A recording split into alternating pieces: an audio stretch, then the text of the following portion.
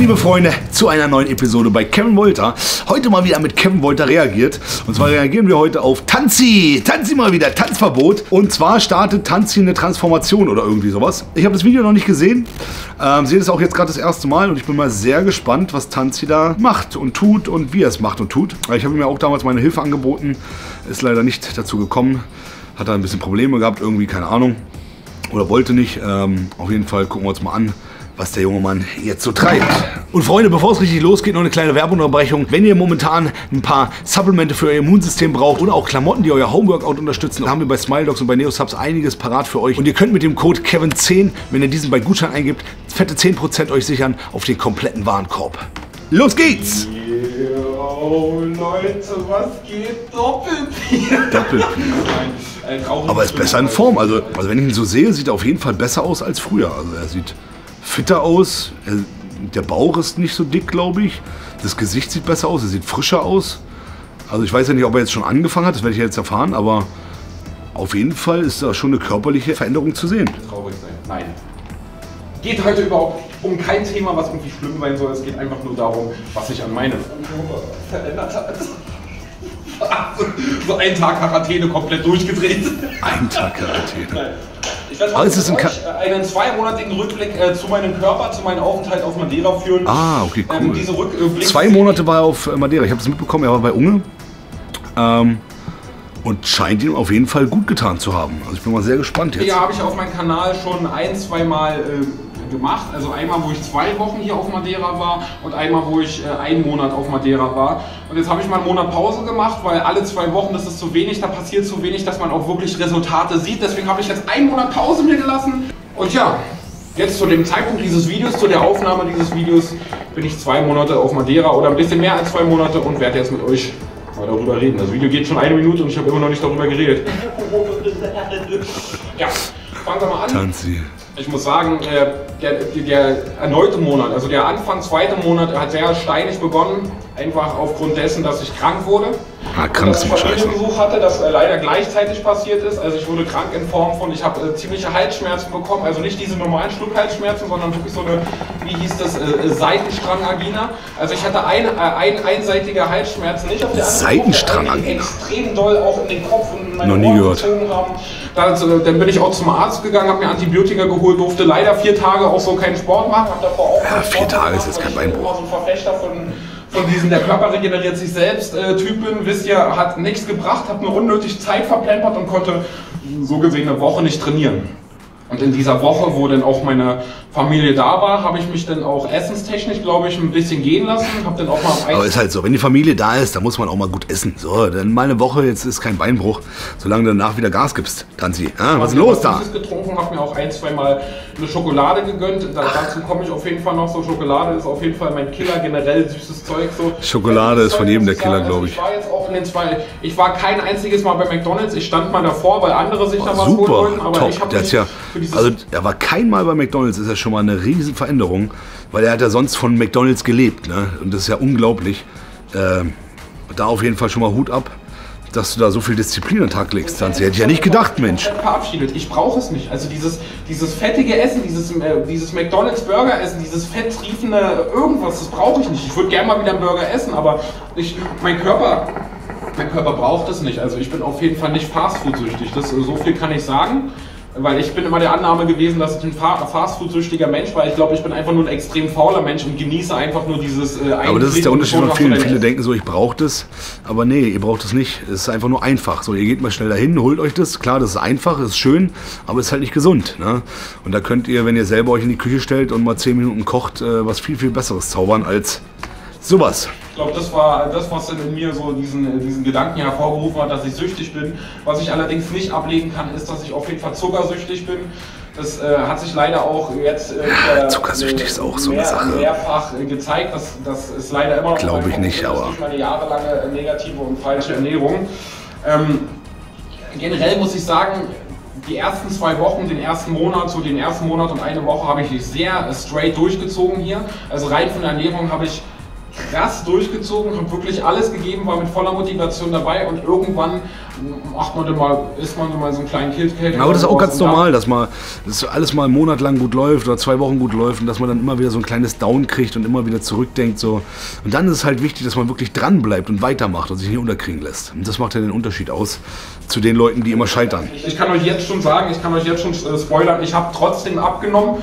Also ich habe trotzdem geringeres, ich, Gewicht, äh, geringeres Gewicht als im letzten Video erzielt. Vielleicht nicht ganz so krass, aber ich weiß auf jeden Fall, dass das Gewicht, was ich jetzt in dem Zeitraum verloren habe, nicht irgendein Wasser ist. Jetzt weiß ich, dass in dem Monat zum äh, im letzten zu diesem Monat ich auf jeden Fall auch äh, Fett abgenommen habe und das sieht man ja auch rein an mein Gesicht. Ich wollte gerade sagen, das Gesicht ist viel frischer. Was ich auf jeden Fall positiv erwähnen kann, ist, dass ich äh, Sport für mich absolut verinnerlicht habe. Also ich habe übertrieben, übertrieben Bock, mich zu bewegen, Sport das freut zu machen. Mich. Ich spüre es auch einfach, wie alles, wie alles ist auch eine tolle Sache. Sport ist eine wunderbare, tolle Sache, oh die einem so viel zurückgeben kann. Ich habe einfach Bock auf, auf Fitnessstudio. Ich gehe alle zwei Tage, weil der Körper muss sich ja auch regenerieren. Ähm, Richtig. Jetzt letztendlich habe ich dann mit äh, Kuluwu, das ist ein anderer YouTuber, Grüße gehen raus an dich, der ist, äh, trainiert ja schon zwölf äh, Jahre. Äh, mit dem bin ich dann so, habe ich so Einzeltraining gemacht. Also cool. ein, ein Tag ja, man, ich, äh, Beine. Wenn man jemanden hat, an dem man sich so ein bisschen halten kann, der einen so ein bisschen mitzieht, so jemand, der besser ist als einer selbst, ist immer eine wichtige Sache, dass man mit Leuten, sich mit Leuten umgibt, die besser sind, gerade beim Sport, damit man von denen noch was lernt, die einen mitziehen und nicht mit Leuten trainieren, die man dann eventuell noch selber weiterhelfen muss.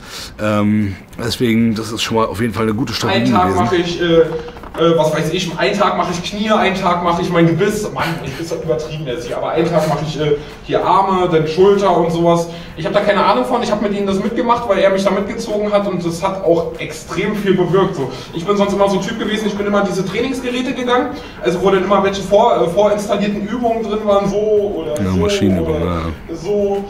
Das war halt am leichtesten so. Ich bin halt viel alleine gegangen, auch durch dieses, durch dieses ganze. Leicht ist nicht immer das, der beste der Weg. Ne? Leider nicht mehr mitbekommen. Das Geilste, was mich richtig pusht, ist, ich bin der Annahme, dass man einfach so, ich, ich, ich gehe ich geh des Öfteren so einmal, einmal in der Woche gehe ich so an den Spiegel und gucke, ob sich irgendwas verändert hat. Und am Bauch sehe ich das selbst immer nicht so, weil der Bauch, der, keine Ahnung, so der Bauch, der ist schon immer da und ob dann Zentimeter mehr oder weniger ist, das sehe ich nur in so einem Vorher. Dann messen da einfach mal.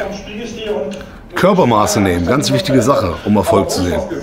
Ich werde jetzt mein T-Shirt ausziehen, wenn ihr keinen Bock darauf habt, dann schaltet ab. Ich, ich, Im Sitzen ist es jetzt natürlich auch blöd, wenn ich mich jetzt sitze, aber ich will euch schon mal was zeigen. Ich weiß nicht, ob ich mit... Ist doch viel besser geworden. Ihr könnt, ihr mal, könnt mal gucken, so sieht der Bauch jetzt aus. Ich weiß nicht, ob sich da jetzt so viel verändert hat. Ich glaube schon. Also ich glaube, da hat sich einiges verändert. Zwar kaum noch, aber Die Brust, die Schultern, die Arme, der Nacken. Ich weiß nicht, vielleicht gibt es auch wieder den einen oder anderen. Das kommt so mit der Zeit, das dauert halt ein bisschen. Das ist auch so, ja, äh, ich habe voll trainiert, weißt du, und hat hier so eine Körperhaltung, jetzt krieg dich mal ein. Jedenfalls habe ich mir des Öfteren aus Schokolade geholt. Dann war noch Anlass von da und die ganzen Leute und deswegen habe ich mich auch immer mal wieder ein bisschen gehen lassen. Aber im Großen und Ganzen will ich euch was zeigen und wenn ich jetzt hier so mache, wenn ich jetzt einfach nur so, ihr müsst, guckt euch das an.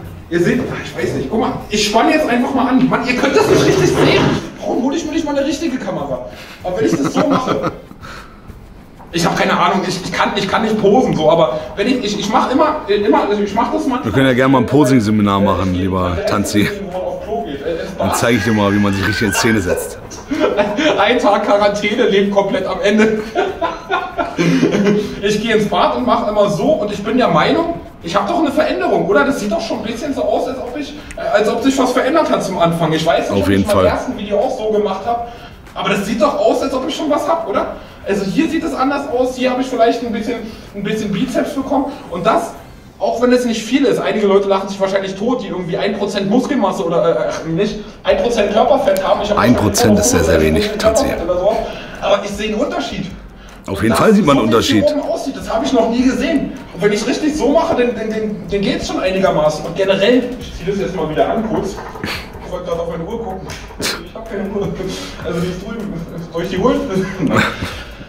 Äh, Er ist schon süß, er ist schon echt süß, ne? So, es ist schon. Jetzt, ich schon, jetzt bin ich schon wieder, weißt du, das Video Ich mag ihn wirklich sehr. Also er ist ein cooler. Typ. Wenn ich da rumspinnen muss, habe ich jetzt schon wieder den Punkt verloren, wo ich gerade war.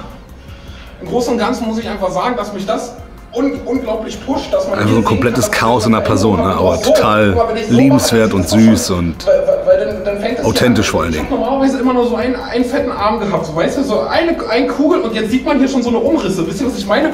Und ich finde das ja, ich finde das ja mega, also für mich, ich finde das mega attraktiv, wie das aussieht. Ich feiere das, das pusht mich und deswegen will ich weitermachen. Das Problem ist, es ist alles geschlossen. Ich kann nicht weitermachen. Jetzt gucke ich mir irgendwelche Videos an, wie man, wie man hier zu Hause, äh, wie man hier zu Hause trainiert und sitzt den, sitzt den ganzen, den ganzen Abend rum und macht so und, und so und so. Wisst ihr, was ich meine? So, ich habe halt keine, ich habe halt auch keine Trainingsgeräte und kein gar nichts hier, deswegen muss ich halt irgendwie Ich habe da übrigens ein gutes Video zu gemacht, Hansi. Homeworkout, äh, ne? Äh, was ich jetzt nicht mehr Kannst machen kann, weil das. Fitnessstudio geschlossen hat. Das haut mich einfach um, weil ich einfach so übertrieben motiviert bin, meinen Körper in Form zu bringen, weil ich einfach erste Resonanz auch von meinem Körper halte. Das, ich weiß nicht, was ich machen soll. Ich kann das nicht kompensieren, weil ich auch einfach kein Trainer oder sowas bin. Und mit eigenem Körpergewicht zu trainieren ist halt auch sehr anstrengend, weil ich ja noch Anfänger bin.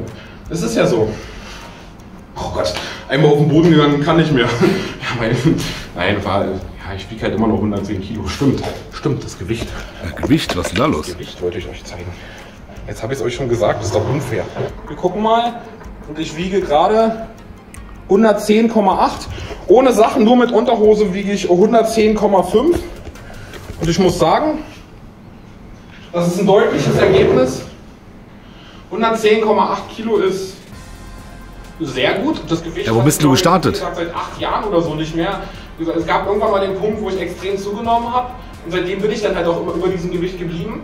Aber ich gehe ich gehe wirklich darauf zu, unter diese 100, äh, 110 zu gehen. Und dann weiß ich, dass, nicht mehr, dass es nicht mehr zweistellig ist hinter dem 100, sondern nur noch einstellig. In zwei Minuten ist die Schokolade weg und dann, dann ist doch blöd. Und ich sehe ja auch darin, dass es keinen Sinn für mich macht. Aber diese Sucht, die muss ich noch bekämpfen. Das ist mein einziges Laster, was ich gerade habe.